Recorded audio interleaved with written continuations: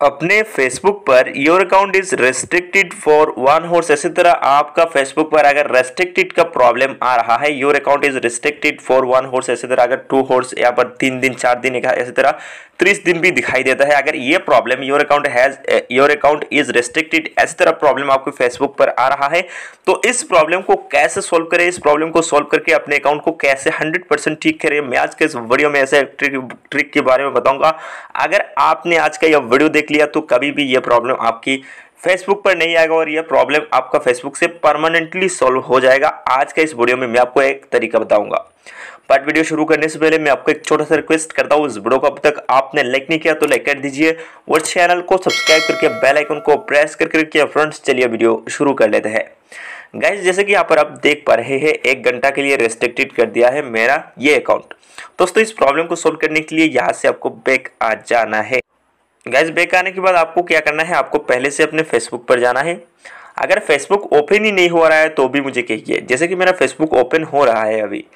दोस्तों, आपको अगर फेसबुक ओपन नहीं हो रहा है तो मैं आपको और एक ट्रिक कहूँगा। तो दोस्तों, अगर फेसबुक ओपन हो रहा है तो बहुत ही अच्छा वास्ते फेसबुक पर आ जाइए। सबसे पहले आप फेसबुक पर आ जाइए। फेसबुक पर आने के बाद, दोस्तों साइड पर एक तीन लाइन का ऑप्शन दिखाई देगा। जी हाँ दोस्तों, तीन लाइन का ऑप्शन थ्री लाइन इस पर क्लिक करिए।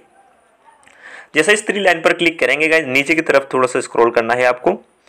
नीचे की तरफ़ स्क्रॉल करेंगे तो यहाँ पर दिखाई देगा आपको हेल्प एंड सपोर्ट आपको हेल्प एंड सपोर्ट पर क्लिक कर देना है।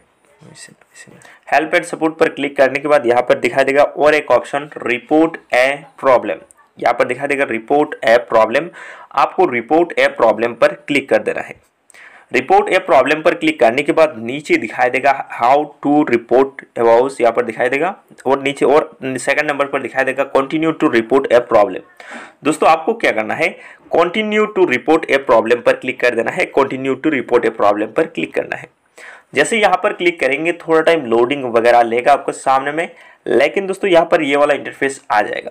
दोस्तों, आपको यहाँ पर दिखाई देगा इनक्लूड इन रिपोर्ट इस पर आपको क्लिक कर देना है।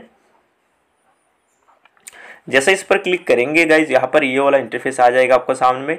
यहाँ पर आपको थोड़ा सा नीचे की तरफ़ आपको जाना है, थोड़ा सा नीचे की तरफ़ जाएँगे तो यहाँ पर एक ऑप्शन मिलेगा सेटिंग्स देखिए दोस्तों, इस पेज को थोड़ा सा नीचे की तरफ़ अगर जाएँगे तो इस पेज का। थोड़ा नीचे की तरफ़ तानेंगे तो यहाँ पर दिखाई देगा सेटिंग्स आपको सेटिंग्स वाला इस ऑप्शन पर क्लिक कर देना है। सेटिंग्स वाला ऑप्शन पर क्लिक करने के बाद दोस्तों यहाँ पर दिखाई देगा ऐड इमेज दोस्तों यहाँ पर नीचे एक ऑप्शन दिखाई देगा ऐड इमेज का एक ऑप्शन दोस्तों देखिए, आपको ऐड इमेज पर क्लिक करके वो वाला जो स्क्रीनशॉट आपने पहले लिया है स्क्रीनशॉट को सेंड कर देना है। पहले आपको ऐड इमेज पर क्लिक करना है। ऐड इमेज पर क्लिक करके आपका गैलरी बिल्कुल ही खुलकर आ जाएगा। गैलरी खुलकर आ जाएगा, जिस स्क्रीनशॉट आपने अभी के अभी लिया है स्क्रीनशॉट को सिलेक्ट कर देना है। ऊपर पर इसको सिलेक्ट कर देना है मार्क करके उसको सिलेक्ट कर देना है। जैसे मार्क करके सिलेक्ट करेंगे दोस्तों आपका ये दोस्तों, जैसे कि यहाँ पर देखिए, ये वाला स्क्रीनशॉट बिल्कुल ही सिलेक्ट हो चुका है और अभी ऊपर पर एक डिस्क्रिप्शन आपको लिखना है, वो क्या लिखना है मैं अभी आपको बता रहा हूँ। जैसे कि मैं एक पीडीएफ यहाँ पर लिख दिया पहले से, मैं कैसे लिखना है मैं इसको अभी दिखाता हूँ, यहाँ पर इसको मैं पेस्ट कर देता हूँ। दोस्तों, देखिए क्या लिखना है मैं अभी आपको दिखा रहा हूँ। दोस्तों, यहाँ पर दोस्तों देखिए डिस्क्रिप्शन पर मैंने क्या लिखा dear Facebook team I have got restricted problem in my Facebook account please solve please solve my personal Facebook account problem as possible thank you ये लिखना है। दोस्तों, आपको ये वाला पीडीएफ लिख लेना है। इसको मैं डिस्क्रिप्शन पर भी दे दूँगा। दोस्तों, आपको इस ये वाला लिख लेना है। पहले दोस्तों, देखिए, इसका स्क्रीनशॉट ऐड इमेज पर क्लिक करके इसका स्क्रीनशॉट देना है और यहाँ पर डिस्क्रिप्शन पर ये लिखना है। और अभी आपको कम्प्लीटली ये होने के बाद आपको ऊपर के कोना पर आपको सेंड कर देना है। यहाँ पर एक सेंड का ऑप्शन दिखाई देगा, इस पर सेंड कर देना है, बस। सेंड करने के साथ ही साथ आपका ये बिल्कुल ही सेंड हो जाएगा। दोस्तों, देखिए, ये सेंड हो चुका है। फेसबुक टीम के पास जा चुका है।